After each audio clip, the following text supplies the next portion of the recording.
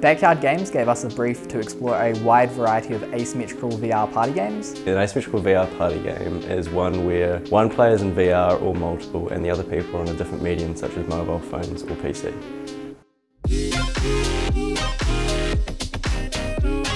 At the start, we take a look at all the existing asymmetric VR games. We take a look at what works with them, what doesn't work, and we also touch into the party game genre. We like to analyse what's missing in this space, what can we add, what can we do to make it more fun.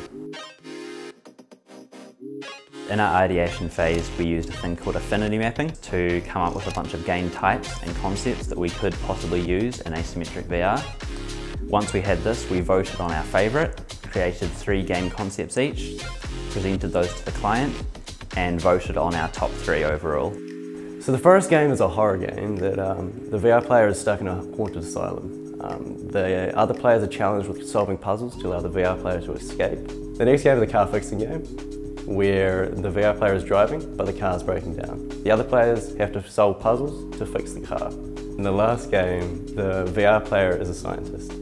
The other players are rats. The rats have escaped and the VR player is challenged with collecting up all the rats. Over the next six weeks, we worked on all three game ideas simultaneously, mix and matching our work so that no one person's ever worked on the same project for too long.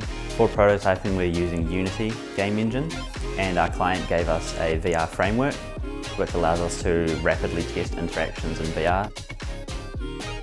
Once we had our prototypes in a testable state, we held a round of user testing where we got a bunch of participants to come in and try all three games. Depending on which game they found the most fun, we decided that we would focus all of our attention on that to try and really polish it into a full-blown experience.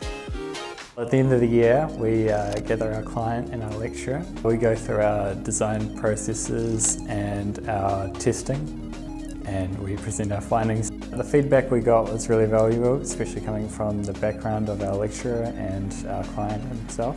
It was really valuable to uh, work with a client with the experience that he has and to work as a team with like-minded people. It's been a really good experience.